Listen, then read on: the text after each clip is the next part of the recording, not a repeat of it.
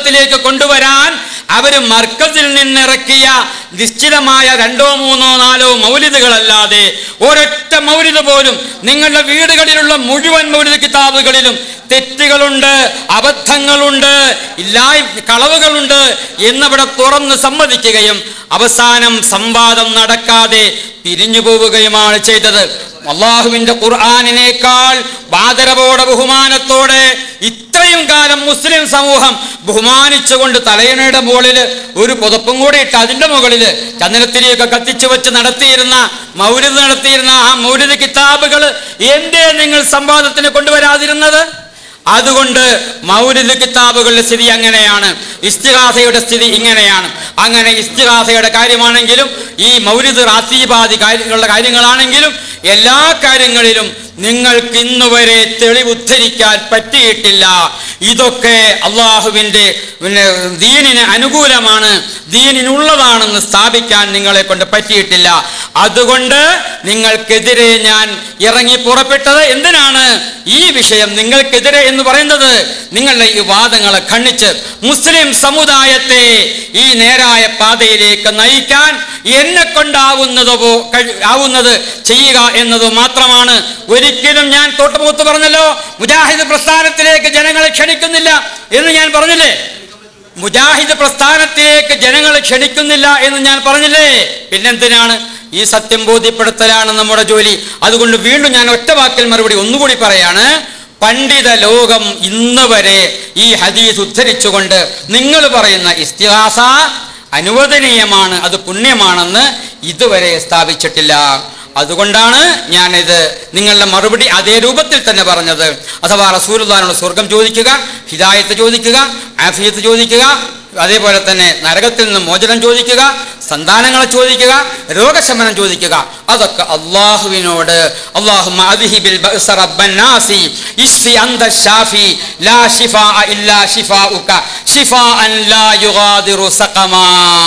രോഗം വന്നാൽ ഒരു രോഗിയെ സന്ദർശിക്കുമ്പോൾ നിങ്ങൾ അവിടെ പോയി എന്താ പ്രാർത്ഥിക്കുന്നത്? അള്ളാഹിന്റെ റസൂൽ പഠിപ്പിച്ചിരിക്കുന്ന ഈ പ്രാർത്ഥന എത്ര സുന്നികൾക്കറിയാം?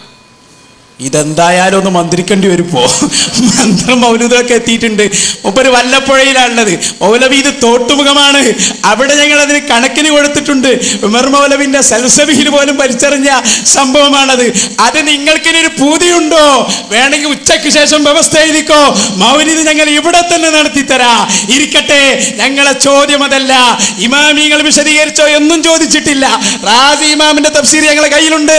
റാസി ഇമാമ് ഇസ്തിഹാസ അംഗീകരിച്ച് ഇസ്തിയാസയുടെ സംഭവം തന്റെ തഫ്സീറിൽ ഉദ്ധരിച്ചത് ഞങ്ങൾ വായിച്ചാൽ നിങ്ങൾ മാറുമോ എന്ന് പറയണം. പക്ഷേ അതിനു മുമ്പ് ഈ സമുദായത്തിന് കേൾക്കേണ്ട ഒരു ഉത്തരമുണ്ട്. അത് എനിയും പറഞ്ഞിട്ടില്ല. അതെന്താണെന്നറിയോ? നിങ്ങൾ എല്ലാ സ്ഥലത്തും പ്രസംഗിച്ച് നടക്കുന്നത് നബിയോട് സ്വർഗം ചോദിച്ചവൻ കാഫിറായി എന്നാണ്. ഞാൻ ചോദിക്കുന്നു നബിയോട് സ്വർഗത്തിൽ ഉന്നത പദവി വേണം എന്ന് ചോദിച്ച മഹാനായ റബിയ തങ്ങൾ മുഷിരിക്കാണോ?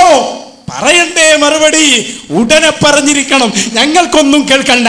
റാസിയൊക്കെ നമുക്ക് എടുത്ത് വായിച്ച് പഠിപ്പിച്ചു തരാം ഞങ്ങൾ നിങ്ങളൊരു പേടിയും പേടിക്കണ്ട. നിങ്ങളെ സമരം ഈ രൂപത്തിലാണെങ്കിൽ നിങ്ങൾ മുന്നോട്ട് കൊണ്ടുപോകേണ്ടി വരും. അത് ഞങ്ങൾക്ക് മനസ്സിലാകുന്നുണ്ട്. എവിടെ എത്തി എന്നും തിരിയുന്നുണ്ട്. റബിയ തങ്ങൾ ഒരു കടക്കാത്ത സ്വർഗത്തിലേക്കാണോ നിങ്ങൾ ഈ സമൂഹത്തെ ക്ഷണിക്കുന്നത്? ആ സ്വർഗത്തിന്റെ പേരാണ് നരകം കേട്ടോ. റബിയതങ്ങളില്ലാത്ത സ്വർഗമോ? നിബിതങ്ങളില്ലാത്ത സ്വർഗമോ? അതാണ് നരകം. ഈ നരകത്തിലേക്കാ നിങ്ങൾ ആളുകളെ റിക്രൂട്ട് ചെയ്യുന്നത്. അതുകൊണ്ട് ചോദ്യം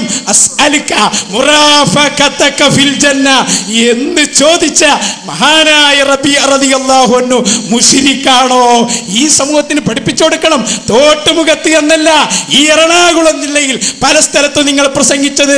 നബിയോട് ചോദ്യ സ്വർഗം ചോദിച്ചവൻ കാഫിർ മുഷിരിക്കുമെന്നാണ് ഞാൻ ചോദിക്കുന്നു. സ്വർഗത്തിലെ ഉന്നത പദവി ചോദിച്ച മഹാനായ റബിയ തങ്ങൾ മുഷിരിക്കാണോ? മുഷിരിക്കാണോ? മുഷിരിക്കാണോ? പറയണം. സഹോദരങ്ങളെ ഇവിടെ വളരെ സമാധാനപരമായി നമ്മുടെ ലക്ഷ്യം പൂർത്തീകരിക്കുക എന്നതാണ് നാം സ്വീകരിക്കേണ്ട മാർഗം.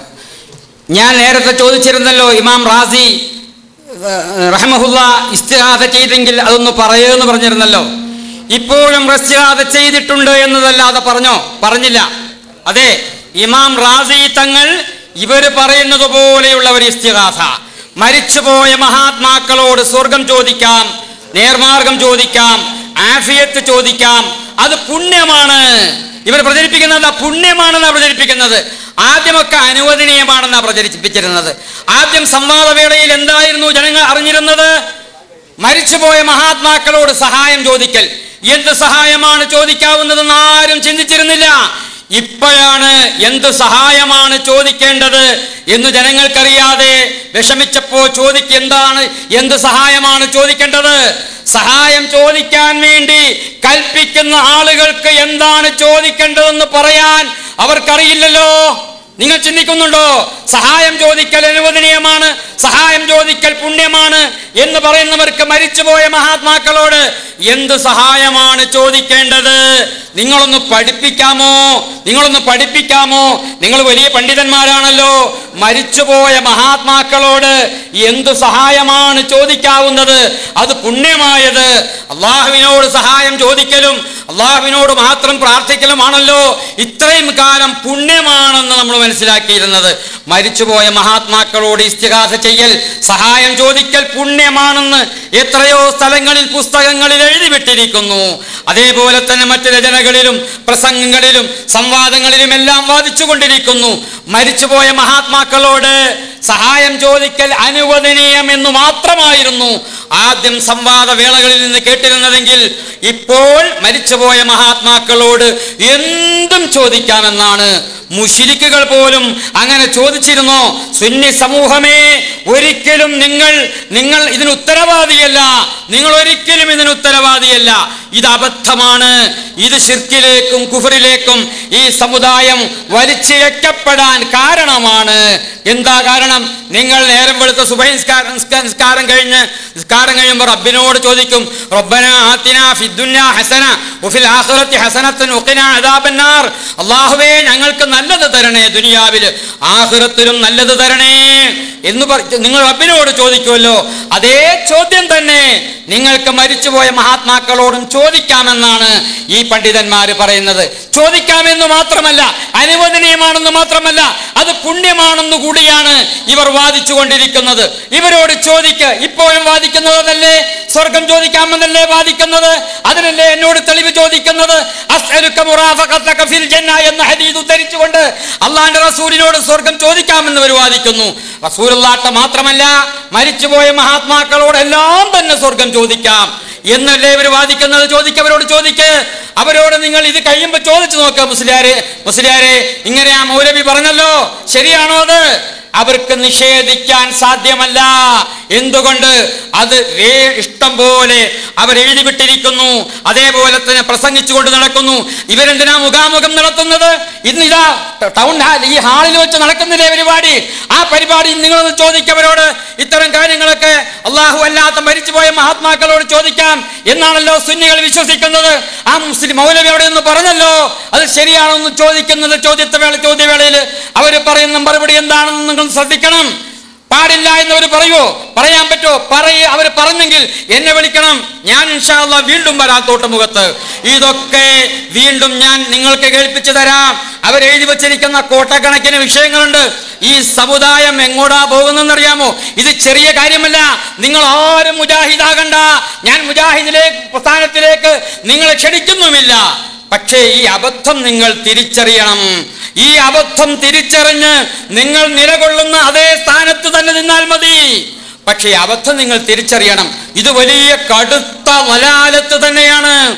അതുകൊണ്ട് മുസ്ലിം സഹോദരങ്ങളോട് ഞാൻ പറയുന്നു ഈ വിഭാഗം വാദിച്ചു കൊണ്ടിരിക്കുന്ന ഈ വാദം ഇസ്ലാമിന് അന്യമാണ്.